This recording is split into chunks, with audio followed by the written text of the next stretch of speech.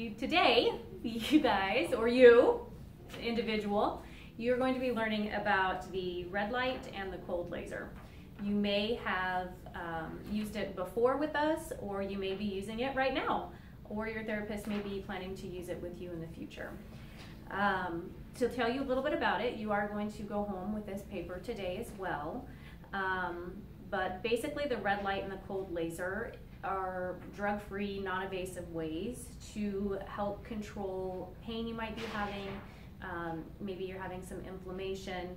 Um, maybe you have a wound or a scar that we are helping to heal or to break up um, those scar adhesions. Um, a fracture, perhaps, that you're trying to heal, or even a neurological condition that we're addressing for you. We can help with all of those things. It is FDA approved and there are studies that support its use.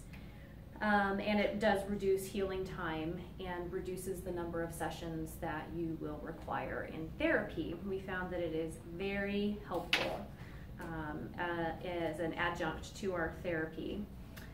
How does it work? So the cold laser, um, essentially it supplies energy to the body um, in the form of non-thermal photons of light which unless you're a scientist sounds really complicated.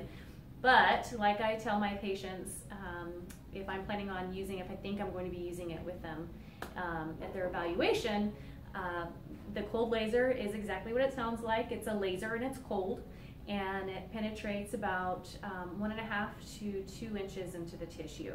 So it, it kind of gets down into those spaces that we cannot reach with our hands alone to help heal those tissues. Um, what to expect during your laser session. Most people cannot feel the laser. There are a handful of people who say that they feel a ting, and by handful I mean um, less than 1% of the population. Um, they feel a tingling or it might actually feel warm to them. Um, but usually most people don't um, don't feel anything other than, than the laser head coming into contact with the skin. How long will it take to see or notice improvements? So usually approximately 75 to 80% of patients being treated notice an immediate uh, response. So they'll have immediate pain relief. It's, it is an analgesic, topical analgesic, um, and that will typically last for a few hours. There is a compounding effect, which means the more that we use it, the more permanent and long-term the effects of the cold laser will be. And you'll notice that you'll have relief instead of hours, you'll have it for days, weeks, and then months at a time, if not forever. Um, the majority of conditions will take anywhere from 6 to 18 treatment sessions for the laser to help us resolve um, the ailment that you're having. Um, let's see